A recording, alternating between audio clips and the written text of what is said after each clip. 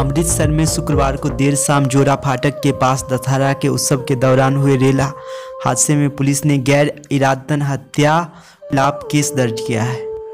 इस हादसे में सत्तर से ज़्यादा लोगों की मौत हो गई और डेढ़ सौ से ज़्यादा लोग घायल हो गए हैं। डीएमयू चालक को हिरासत ले लिया गया है और मेला आयोजकों के खिलाफ भी मुकदमा दर्ज किया गया है। अमूमन आप सोचते होंगे कि इस ट्रेन हादसे में ड्राइवर ने ट्रेन क्यों नहीं रोकी थी।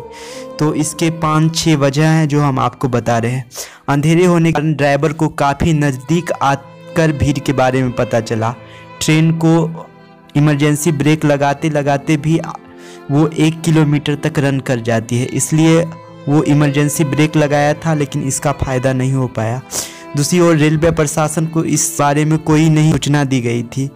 मेला आयोजकों के द्वारा रेलवे प्रशासन को कुछ नहीं बताया गया था कि भीड़ बढ़ सकती है और ट्रैक पे भी आ सकती है। स्थानीय आयोजकों ने की थी बड़ी चूक। कोई भी लाइटिंग वाइटिंग की व्यवस्था नहीं की थी।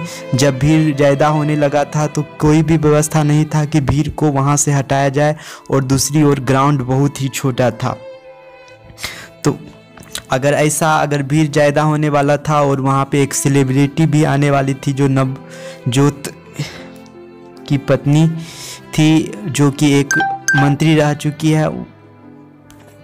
ब्रेक मारी भी थी, लेकिन उसके इमरजेंसी ब्रेक लगते लगते भी ट्रेन एक किलोमीटर तक जा चुका था। उसके बाद लोगों ने पत्थरबाजी शुरू कर दी, इसलिए उसको ट्रेन लेकर आगे बढ़ना पड़ा। उसने भीड़ को करीब आते देख, पूरी हॉर्न बजाया था ट्रेन का, लेकिन लोगों को उस समय मौका ही नहीं मिल पाया, जब तक लोग संभलते ट्रेन जा चुकी थी। और ट्रेन रुकते रुकते हुए भी वो एक किलोमीटर तक जा चुकी थी और लोगों ने पत्थरबाजी वहाँ पे, जो स्थानीय लोगों थे, पत्थरबाजी ट्रेन पे शुरू कर दी।